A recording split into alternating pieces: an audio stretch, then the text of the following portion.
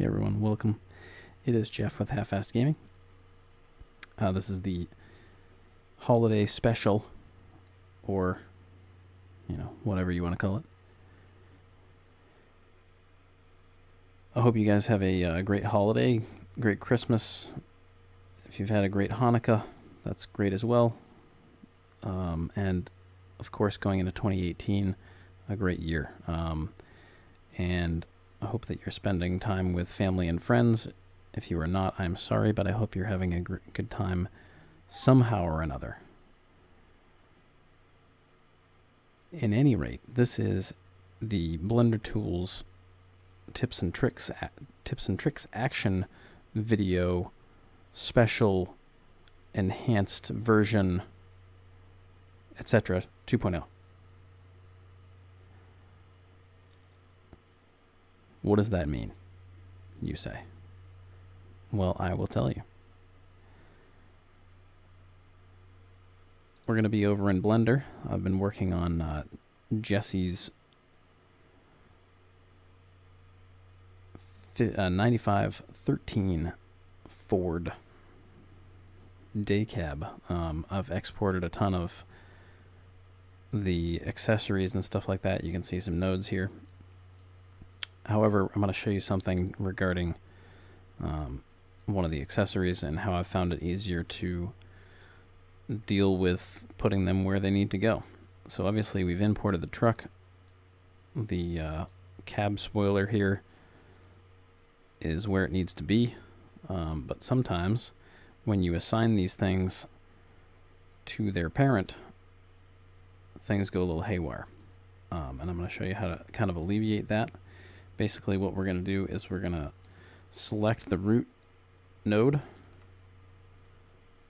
cursor to selected. There's our cursor. So we're good there. Um, now this one I've already done. Um, as you can see, the root locate, I mean the uh, origin location is up here. But if I click on this, the origin location is the original location of the truck. So what happens is when you assign this, we'll just say parent cab defl01, you can see this goes way up here. And what it's doing is, since the origin was down here, it's taking the distance between these two points and adding it and putting it up here. But we don't want it up there, we want it on top of the truck. Um, so this is how to kind of alleviate that in fairly easy manner. Um, basically, we're going to utilize the uh, tools portion over here. Um, you're going to select the item, which in this case is wing F for frame. Set origin. Origin to 3D cursor. So now you can see that moved up here. See if I control Z, it's down here. If I press this, it moves up there because I've put my cursor on the point of where the root node is going to be. Um, so in this case, we're now going to go here and we're going to drop this onto there and we're in default part and there we are. Going to do the same with this. Let's undo that. Drop this up here. Assign that. And that's it. That is how how easy that is. So now, when we select this, all the parts are there. Because the origin point was changed to the top of the truck because that is where the root node is and that's what we care about. Now we can go over here.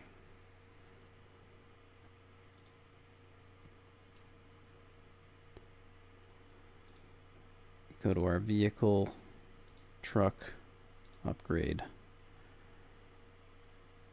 Oh I didn't add the cab def folder yet.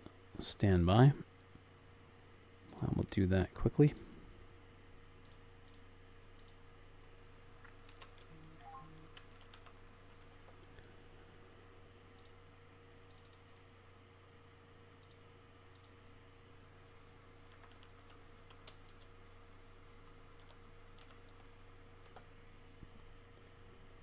Okay. Truck upgrade, cab def L, select. There it is. Done. So that is how you, I've been exporting these accessories. It goes super quick. Just assign them to the, uh, just assign that using the set origin 3D cursor point. And it's pretty straightforward. Works like a charm. No fuss, no muss. Uh, don't have to worry about calculating how far this went and minus that and so on with the uh, you know transform stuff. So super easy. Hope this guy, hope this helps you guys. Um, again, have a great holiday, and we'll see you for the next one.